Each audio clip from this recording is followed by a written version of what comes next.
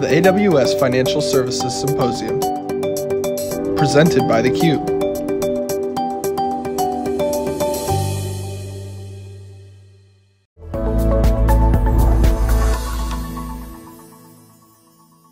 Welcome back to theCUBE's coverage here in New York City. I'm John Furrier, your host of theCUBE here. And it's, Tech Week. Amazon Web Services is having their financial symposium here. And we've got a great guest, Malcolm deMayo, Global Vice President, Financial Services Industry with NVIDIA. Pleased to have you on, Malcolm. Thanks for coming on. And, and again, congratulations to everyone at the NVIDIA team and company for just the rise of greatness on a performing stock, company, software, hardware, it's a systems revolution. You guys are leading the way. So props to you guys. Yeah, thank you, John. It's great to be here with you. So, you know, we're now living in a world where um, there's some time. We're going we're going to look at this moment in time and say we have now crossed over an inflection point of massive platform shift. Hard to say. Gen one cloud, we saw it happened. SaaS happened. Beautiful things are happening now with generative AI. You're starting to see, and with all the success of these new workloads, a new net new categories emerging generative AI. Jensen Huang, your CEO, said on stage, this is a new category. It's generating things.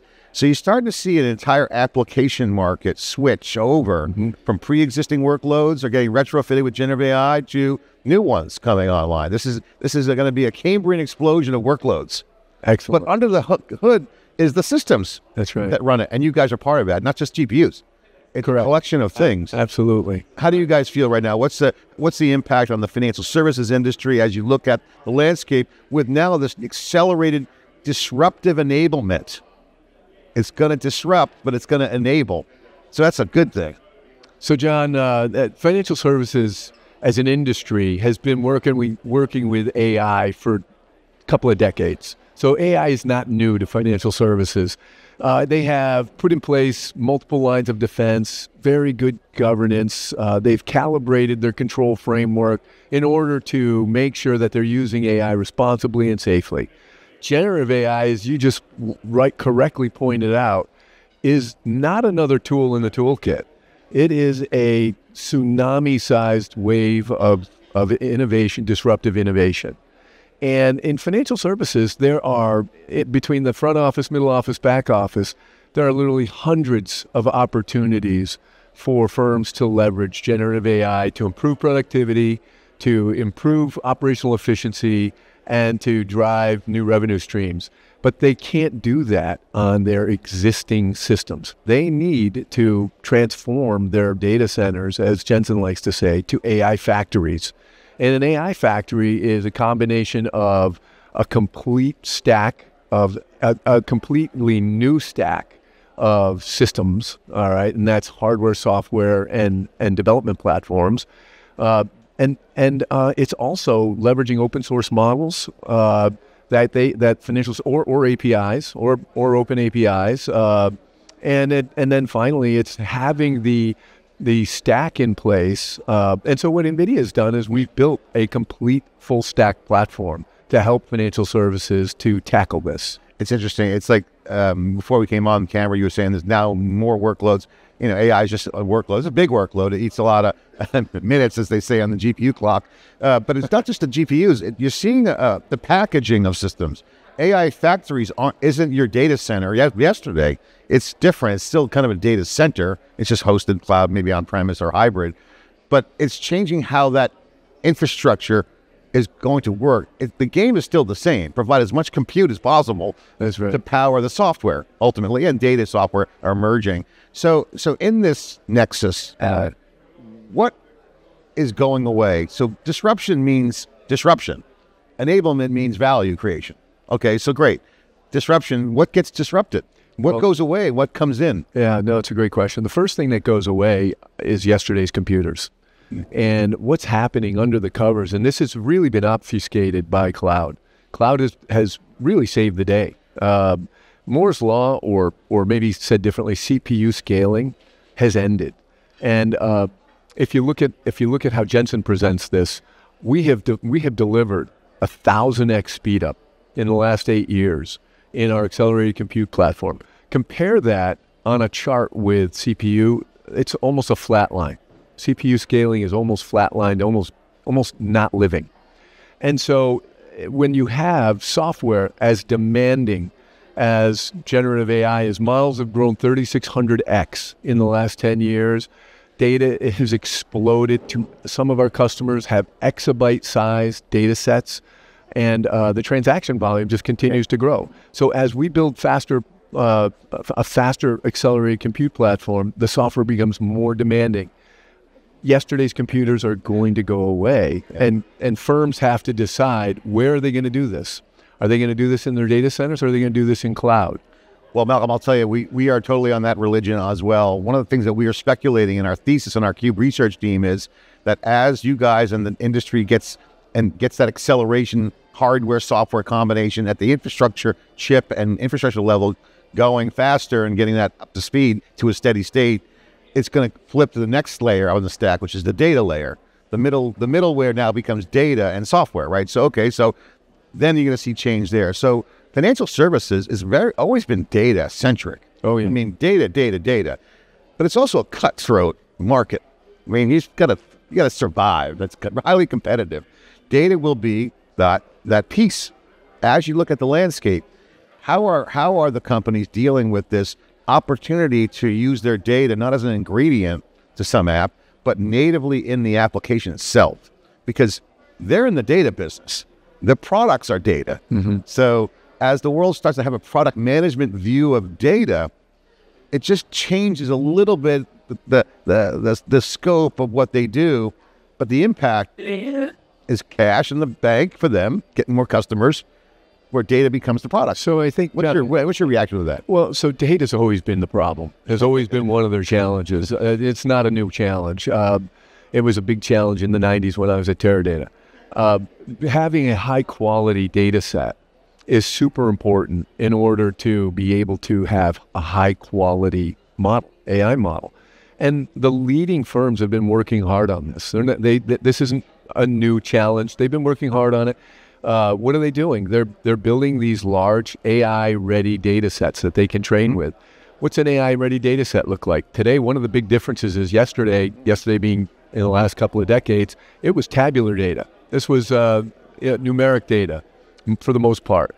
Now, now with generative AI, which understands text, understands video, understands images, uh, is multimodal. You can you can look at alternative data. For example, in the trading industry, in the trading segment, mm-hmm.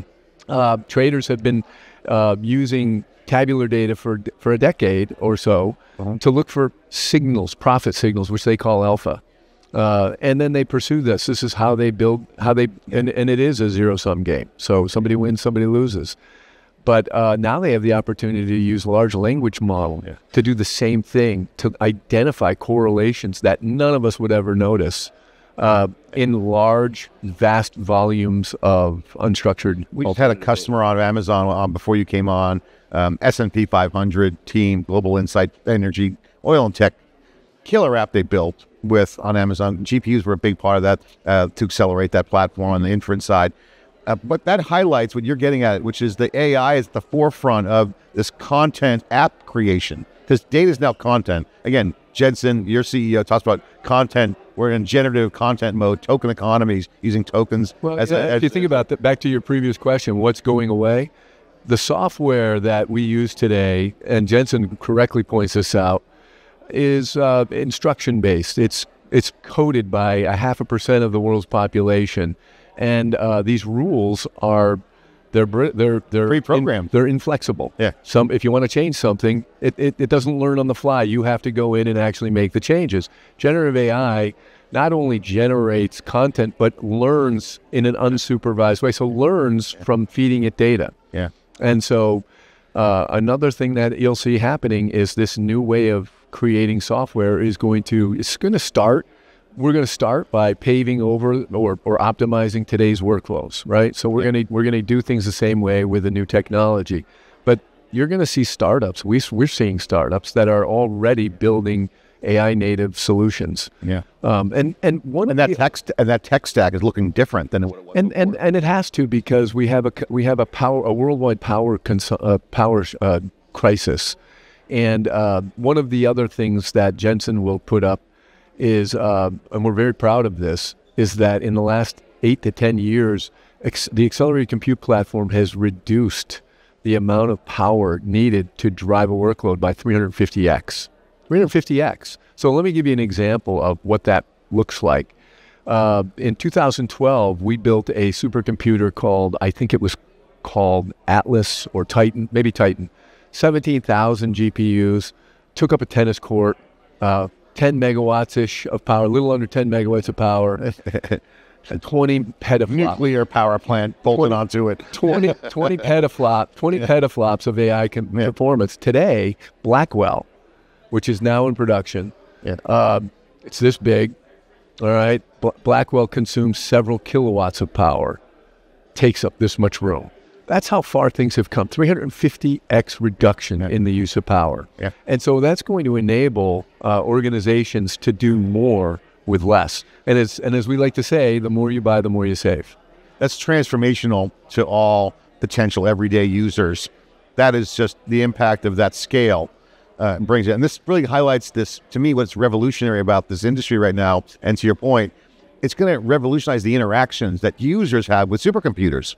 Because now you're, we're seeing as supercomputing is mainstream. It's in the cloud.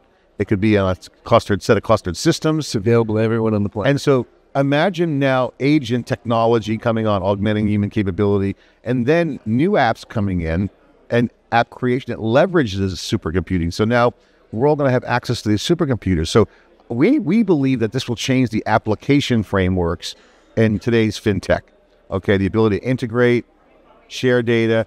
So, you know, as we look at this market, financial services, you got like there's going to be winners and there's going to be losers. And if you're not leaning into AI, I mean, when when platform shifts happen, you don't you can't lean in halfway. One- you one got to go, analogy- you go yeah. all in or you're extinct. One analogy that works for New Yorkers, at least, John. We all we all jump on a train in the morning and come into the city. If you're standing on the platform and you're not on the AI train, the train's moving really fast, and it's it's just when it goes by, you know, it's incredibly fast. It's hard to keep up with it. But when you're sitting on the train, you don't notice how fast it's going because you're participating, you're learning, you're developing AI literacy, you're experimenting, you're building solutions for your your customers, both external and internal, and uh, and the leading firms, the ones that come to see us in Santa Clara. And by the way, everyone should come to see us in Santa Clara. They should schedule an executive briefing. Uh, when they come to see us, they've decided, the, the companies that come to see us have decided we're leaning in. We're going to be leaders in this. We're going to be the survivors. Capgemini did a study in 2017.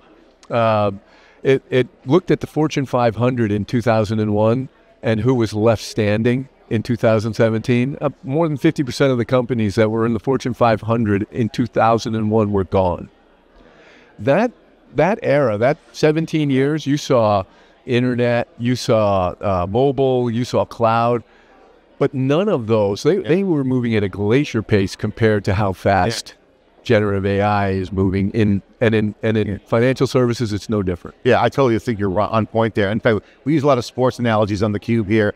It's like the, the pace of play between little league and pro ball. It's like I mean, the pace of play at AI right now is really fast. So Right. um, companies are adapting, and and if they don't, I mean, they're going to be on the wrong side of history. So as we get into this world, old way, new way. Okay, your relationship with AWS is well documented. Um, also well documented in what you guys are doing separately from Amazon um, and, and off on on premise, which is you know booming. Uh, all these specialty clouds are emerging, which we see thinks to be the future. At the end of the day, it's cloud operations. Um, Amazon might not see it that way, but AWS has a great relationship with NVIDIA. Talk about the relationship with Oh my AWS. God. Uh, so uh, Jensen said it best at reInvent in November. Uh, we've had a 13. Jensen and, and Adam said it best on stage during uh, during uh, reInvent back in November. We've had a 13 year relationship uh, of collaboration with AWS. First of all, take a step back. AWS is obsessed with custom improving customer outcomes, and NVIDIA is obsessed with solving really tough problems. So we're very well aligned Yeah. from a cultural perspective. And uh, when you think about uh, just our Ampere and Hopper, Ampere AWS calls PD4s, and Hopper they call them PD5s, and they're available in their EC2 instances and have been for years. Uh, just those two alone, we have over, they've invested in over two million GPUs in their cloud. That is an enormous investment for their customers. So if I'm a financial services firm and I have to decide, do I build on my prem in my data center? I have to over provision for peak. And there's power and challenge. And there's a lot, well, a lot of data centers are old, so that's an issue. Or do I just fire this up in Amazon? And so they have that opportunity because Amazon's made it available, and they've and they've taken the risk. Uh, they've they've taken the approach of if I build it, they will come. Um, but That's a good but- bet, by the way. The cap on the capex side, they got a lot of horsepower and firepower there for customers. Exactly. And, you know, but since then, at, at it reInvent and then again at GTC, Jensen and uh, Adam kicked up our relationship several notches. They announced Ceiba. Ceiba will be one of the largest supercomputers based on DGX Cloud. Uh, and uh, Ceiba, by the way, is the largest tree in the Amazon rainforest, so appropriately named, a massive supercomputer in AWS's cloud. And our R&D team will use it. We'll use it for advancing uh, AI for robotics. We'll use it for our Earth 2 digital twin and, and climate predictions. We'll use it, and by the way, very relevant in financial services. We'll, we'll use it for our uh, Omniverse platform. We'll use it for so many different things. Um, and in addition to that, we're integrating our NIM, our NVIDIA Inference Microservice, with SageMaker. In, NVIDIA Infer, uh, Inference Microservice is us taking essentially a, a, an open source model, encapsulating it in a Kubernetes container with the inference runtime, the model, and CUDA. And essentially now you have a portable model that's optimized to run on our platform. Maybe think of it this way. If you're uh, if you're a dad, you know this. You've got a home, you've got kids, they leave the windows open, they leave the lights on, drives every dad mad. They run around, turn everything off. What we're doing when we optimize these models is we're turning off parameters that aren't need, aren't needed. So that saves money in training time, that saves money in inference time, that saves money in the entire pipeline and life cycle or uh, AI uh, pipeline. And so NVIDIA Inference Microservices with SageMaker allows Amazon's customers to build their own AIs, to own their own IP, and now you're you're multi-cloud portable. Yeah. And it's interesting. You use the word AI factory, which is you guys coined. Dell jumped on the bandwagon there too, which basically I thought was a great move on their part. But an AI factory doesn't have to be a physical location. The cloud is a big part of, Of course. of these AI factories. NIMs are components you connect Absolutely. together. Yeah. So that we're going to be living in this connected new system. I call, call it this new AI world we're living in. It's a collection of systems working together. Absolutely. That's an NVIDIA also vision. Today, today in financial services, probably less than 15% of workloads run in cloud. There is still a huge amount of tech debt in financial services. You have these systems. You know, some some some financial firms' data centers look like the Smithsonian. They have one of everything from every decade. And I've heard people describe their infrastructure as um, like the layers of the earth. You can go and see exactly what decade was this technology bought in. Uh, as generative AI changes the way software is developed and empowers financial services firms to now write new uh, generative uh, software, you're going to see more and more of this probably running cloud. Yeah, and I, I will say, and to agree and put exclamation on that point is, is that the winners have to deliver the consumer experience because generative AI is a new categorical experience. That's right. That's obvious as the world in front of us, and if you're not showing that new capability, you're out. You're out. You're, I mean, you, you literally like the consumption won't be there. Fortune 500 list, 2001, Yeah. 2017, 55, 50% plus Again. firms are gone. as the as the fog lifts in this new era, you can start to see the old way, new way, and the new way is that if you're not getting it here, you're going to be out of business. I mean, that's what's happening. And, and, you know, eh, financial firms have to be careful, John, because they're heavily regulated. Uh, and generative AI is still relatively new. So they don't have to rush things into production. But what they do need to be doing is building an AI factory in cloud or on premise or both. You can build a hybrid AI factory.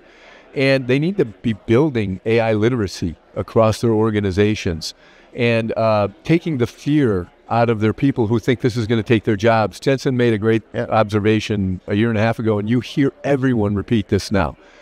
You're not going to lose your job to AI. You're going to lose your job to somebody who's learned how to use AI. Yeah, and and you're going to lose your job by not leaning into AI right and jumping on the train. Malcolm, great to have you on from NVIDIA. Laying it out. I mean, NVIDIA leading the way glimpse into the future is here. We're bringing you all the data here in New York City with theCUBE. I'm John Furrier, your host. Of course, we're going to tokenize the data. We're going to make it generative. Hope you had a good, good Great to be conversation. Thanks for coming on. Great to be here with We'll be right back after this short break.